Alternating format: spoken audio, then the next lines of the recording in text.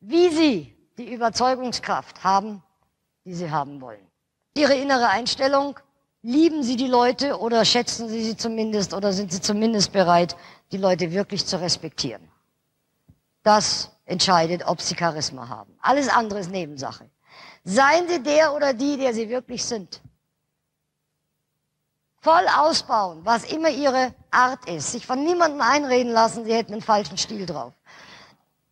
Man erzählt sich, wenn man meditiert mit Mantram, dann gibt es eine richtige und eine falsche Weise, das auszusprechen, was natürlich Unsinn ist, weil sie das Mantram zu ihrem eigenen machen und wiederholen das dann so, wie es in ihrem Kopf klingt.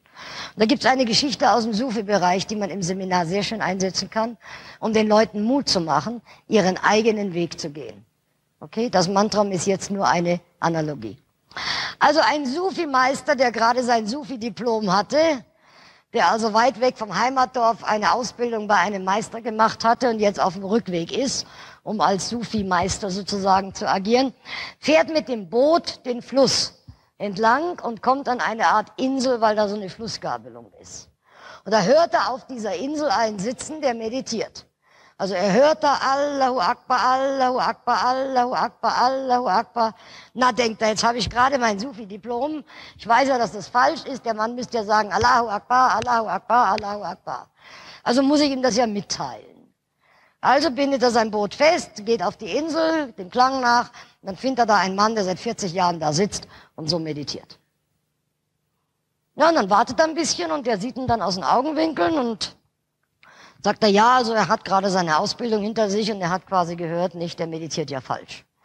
Um Gottes Willen, sagt der alte Mann, das ist ja furchtbar, das wusste ich ja gar nicht und würden der junge Meister mich vielleicht bitte unterweisen. Na, jetzt üben sie ein paar Tage lang, weil das eingeschliffen ist. Immer wenn sie meinen, jetzt haben wir's, rutscht er zurück in das Alte. Und man sagt zum Beispiel, wenn einer mit dem Mantram richtig meditiert, dann kann er über Wasser laufen und andere Wunder tun. Das weiß man in diesem Bereich. So, und nach einigen Tagen scheint der Alte es jetzt einigermaßen drauf zu haben und der Junge begibt sich jetzt wieder Richtung Heimat. Also er rudert wieder los und nach einigen Minuten des Ruderns meint er plötzlich die Stimme des alten Mannes direkt hinter sich zu hören, was ja gar nicht geht. Er schaut sich um und tatsächlich ist der übers Wasser ihm nachgelaufen, sagt junger Meister, wie muss ich das Mantra aussprechen?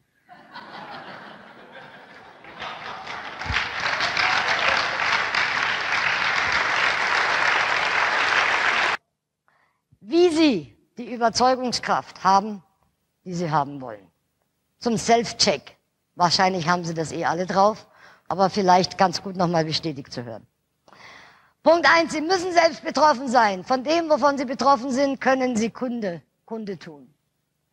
Zum Beispiel Kommunikation ist ein Thema, wo ich sehr betroffen bin, weil ich aus Umkreisen kam, wo relativ aggressiv kommuniziert wurde.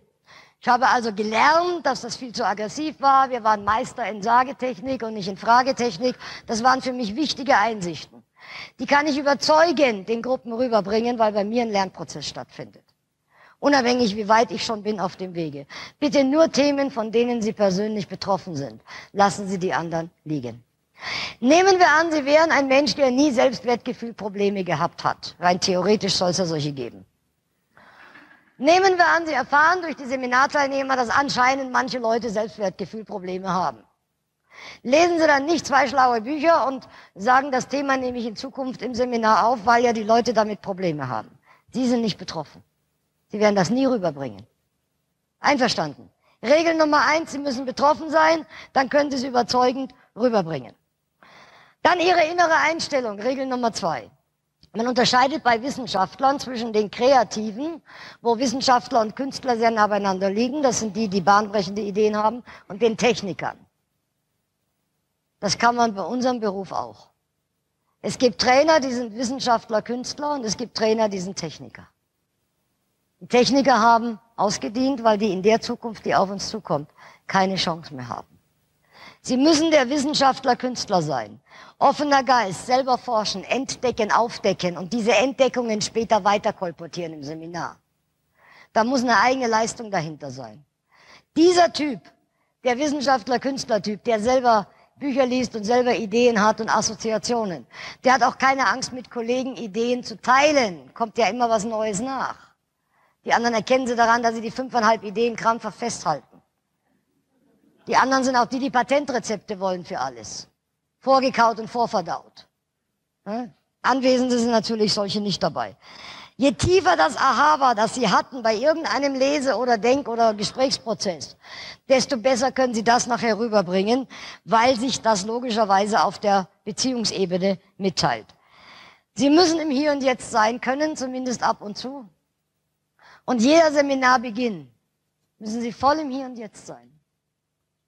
Das ist einzige, einzige Aufgabe, hier und jetzt, die Sie haben am Anfang eines Vortrags oder am Anfang eines Seminars.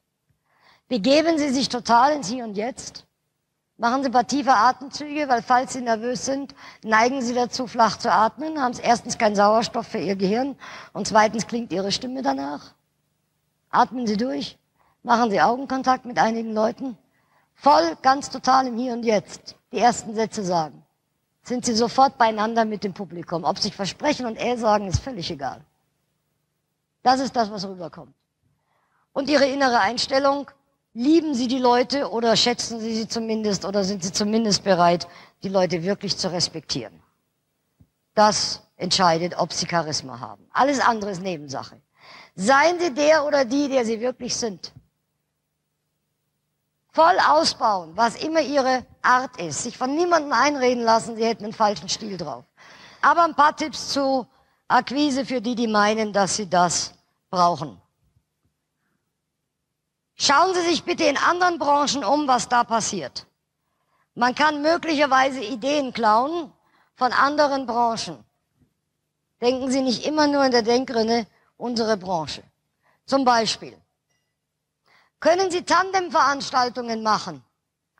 Wenn ich so die Werbung gucke, was ich nicht oft tue, aber manchmal ganz bewusst, dann sehe ich zum Beispiel, dass Waschmaschinen von Siemens oder Geschirrwaschmaschinen von Siemens mit einem bestimmten Waschmittel oder Geschirrwaschmittel zusammen im Tandem beworben werden. Tut keinem weh. Welche Möglichkeiten ergeben sich für Sie, mit irgendwem im Tandem zusammenzuarbeiten, wo Sie einander ergänzen? Dich nicht verletzen. Wir werden über Kreativität morgen noch was sagen. Es ist unglaublich, auf welche Ideen man kommt, wenn man anfängt, anders zu gucken. Tandem ist vielleicht ein neuer Gedanke für Sie. Es gibt unglaublich viele Möglichkeiten, mit Leuten im Tandem zu arbeiten, wo Sie sich gegenseitig empfehlen können und gegenseitig helfen können, vielleicht sogar Büroräume, Fotokopierer und andere Sachen gemeinsam nutzen können und man tut sich nicht weh. Das ist also ein Gedanke.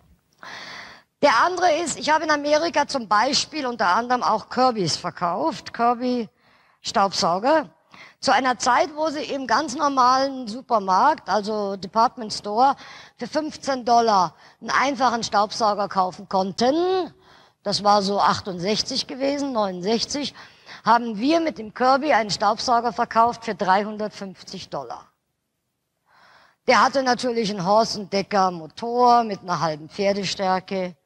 Und mit dem Ding konnten sie von Gartensprühen über Insektensprühen, Kreissäge und so weiter das halbe Haus bauen.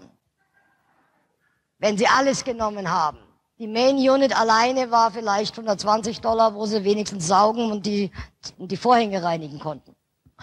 Jetzt war es so, dass wir Hot Leads bekamen. Das heißt, die Leute haben Anzeigen beantwortet, dass sie bereit sind, eine Vorführung über sich ergehen zu lassen, weil sie dafür eine kleine japanische Kamera geschenkt bekommen.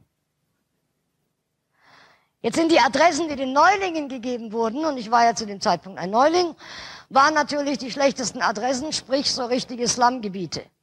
Also die Leute haben die Vorführung über sich ergehen lassen, haben mir dann mitgeteilt, dass sie jetzt das Geschenk haben wollen, haben sie auch bekommen, und haben mir dann mitgeteilt, dass der Ehemann gerade im Gefängnis ist und sie hat drei Kinder und lebt von der Wohlfahrt und sie kann sich natürlich kein Körbe kaufen. Und jetzt habe ich angefangen, einigermaßen verzweifelt zu sein, denn ich wollte ja mein Studium damit unter anderem auch finanzieren. Ich habe einige Jobs gehabt für mein Studium, das ist ja drüben viel teurer als bei uns. Also habe ich gesagt, was machen die anderen? Gibt es irgendwo irgendeine Idee, die ich aufgreifen kann? Und dann wurde ich zu einer Tupperware-Party eingeladen. Also habe ich Kirby-Partys gemacht. Doch ganz klar. Das heißt also, Tupperware wird, wie Sie wissen, verkauft dadurch, dass einige, meistens Damen, sich treffen. Die eine führt das vor, dabei wird Kaffee und Kuchen gegessen, getrunken, man kann sich austauschen.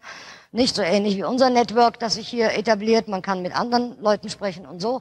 Und dabei, die, die Ware ist gut, Voraussetzung ist, die Ware ist gut, wird ja auch einiges abgesetzt. Und Tupperware können Sie im Laden nicht kaufen, nur über eine Dame, die Tupperware vertritt. Okay.